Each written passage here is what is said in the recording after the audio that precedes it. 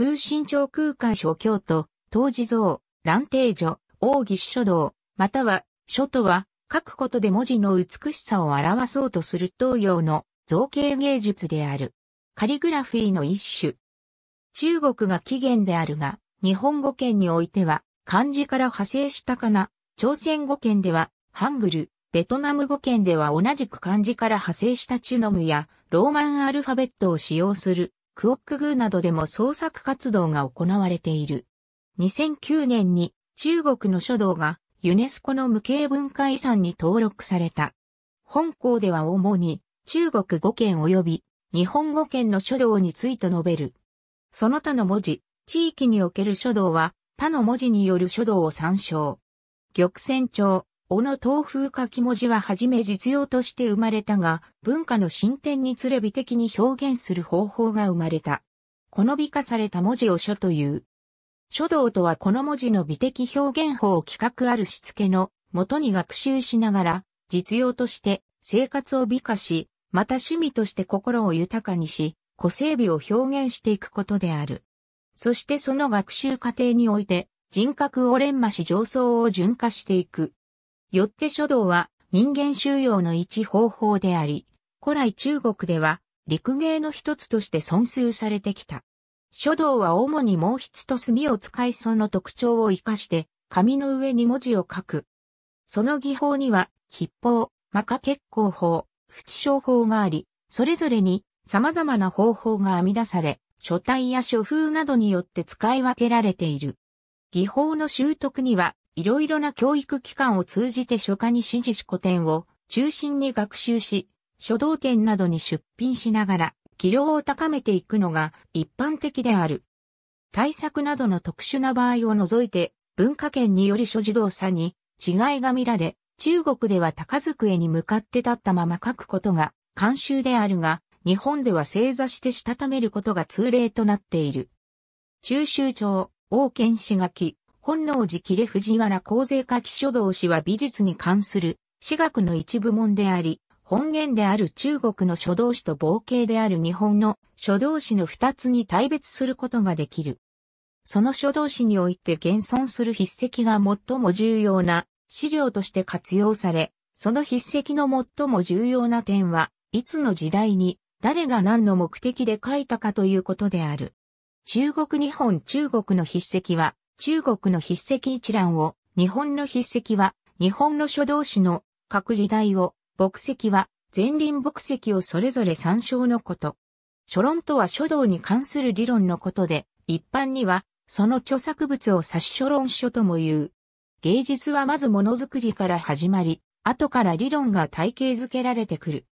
長い書の歴史の中で文字を書くという行為が造形芸術となり、中国、日本で書道に関する理論が展開された。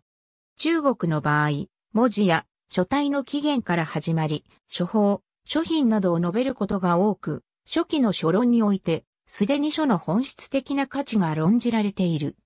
これに対して、日本の書論では、書式や古実が語られ、中世、近世は特に家の格式や書風を伝えることの価値が重視された。現存する中国最古の書論は、五漢時代に表された、超一の非草書である。日本最古の書論は、唐用では空海の返上発揮少量集、和用では平安時代後期に表された藤原これ行の夜角定金賞とされる。また藤原則長の句伝を藤原これ常が記録した書道秘伝書、採用賞も1177年頃のものである。用具古典古典の学習毛筆による書道の場合、すずり、筆、紙、墨が最低限必要な用具であり、これらは文房四宝と呼ばれる。墨が固形の場合、水も必要となる。このほか、毛線と呼ばれる下敷きも多用される。書の古典とは、先人たちの努力と創意の積み重ねにより生まれた美しい筆跡であり、この古典を学ぶことが最も正当な書の学習とされる。書を極めることは容易ではないが、古典を学び先人たちの書と、その変遷を知ることにより、学書者に指針を与え、さらに作品の深さや心の高さなど一人では到底到達できない境地まで引き上げる効果が期待できる。古典は数多くあるが、最初に学習すべき各書体の基本的な古典は通常以下のものとされる。手本を見ながら書くことを臨書と言い、古典などの学習手段とされている。臨書には、経輪、遺輪、背輪ともの方法があり、それを用いて、技術、書作の原理を習得し、創作活動への自己の成長を図る。対象となる手本の全部を臨書することを前輪と言い、その一部の臨書を不死輪という。臨書は古来から行われており、奈良時代の光明皇后による王義士の学記論の臨書が正倉院に現存する。臨書に対し他人の書を参考にしないで自分で創意工夫して書くことを順という。中国では書法と呼ばれ、初等教育で指導される。簡体字が視覚的に美しくないということで、反対時での書道教育も模索された時期があるものの、政策としての艦隊あざ推進に矛盾することから、現在は艦隊人の指導で統一される。皇筆、ボールペンなどの書道教育も試みられている。また、中国各地に書法協会が存在し、公教育から離れた立場で書道の発展に貢献している。教室日本では、国語科の書者として、小学校3学年6学年と中学校、全学年の授業での毛筆による指導が定められている。高等学校では音楽、美術などと並び、書道が芸術科の選択科目として配置されている。書道科を設置している高等学校には以下のものが大学では教育学部や文学部を置く大学では書道に関する講義を設けている。特に教員養成系の教育学部では書写教育、書道教育の研究室が置かれ、専門教育が施されている。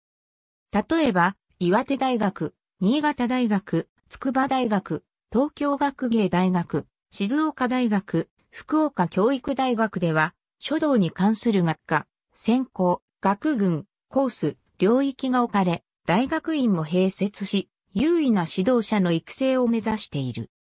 筑波大学と東京学芸大学、横浜国立大学、千葉大学、埼玉大学の4校からなる東京学芸大学大学院、連合学校教育学研究科には博士課程も設置されている。なお兵庫教育大学大学院、連合学校教育学研究科にも同様な博士課程があるが、書写教育のみを専門に扱っている。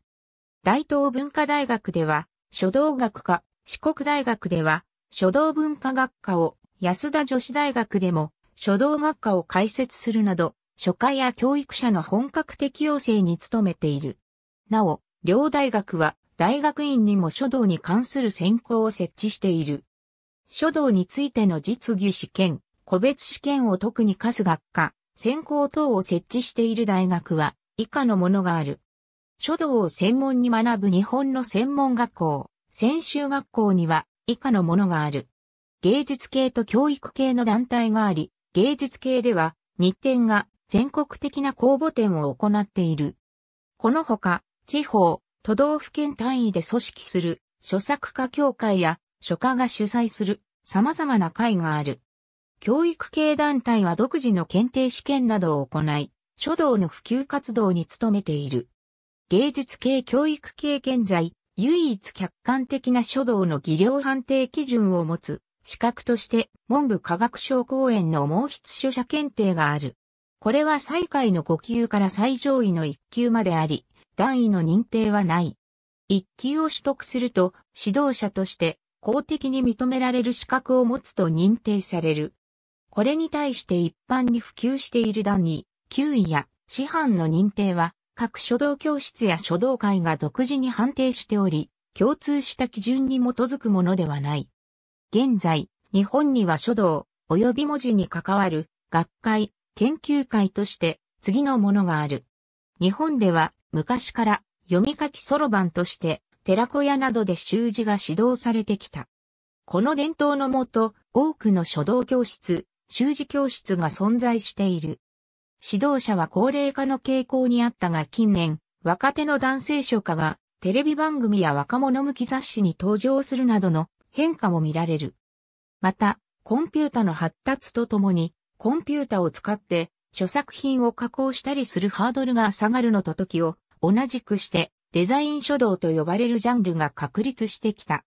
これは著作品を生活雑貨やインテリア、表札などの多様なものにコンピュータ処理などを経てデザインしていくもので、書にまつわる新しい職業として注目されている。ありがとうございます。